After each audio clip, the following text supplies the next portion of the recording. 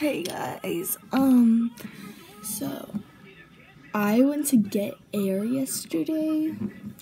Got a wristband. I still have it on. I didn't want to take it off, and I'm actually wearing the socks right now. Um, it was fun and all, but we had some big problems.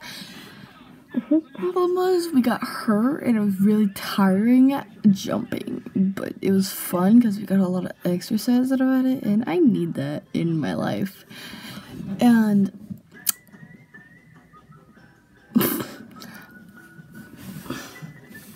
and um, I learned how to do a backflip.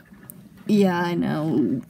It's, I don't. It's actually pretty easy, and you just have faith in yourself but the pit that I jumped into wasn't full enough. So I basically like landed on my knees and like went back like that and like I hurt my spine and like this part of my shoulder down is hurting really bad.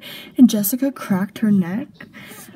She's my friend, I know. And I'm not gonna show her face because I do have like we took a bunch of um pictures on my wall, like my uh, at at the photo booth, and we did that, and we, and um.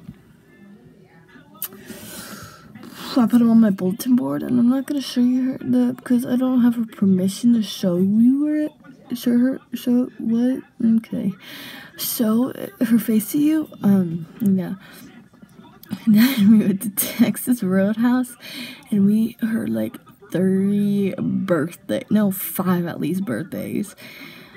And i was hyper because i had three sodas. And yeah mm, i'm not i'm not ashamed. I'm not ashamed.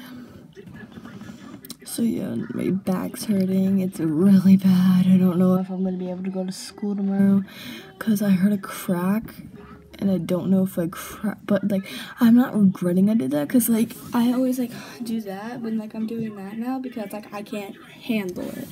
I can't handle like hunching over it. Hurts too, too bad. And yeah that's all I wanted to say bye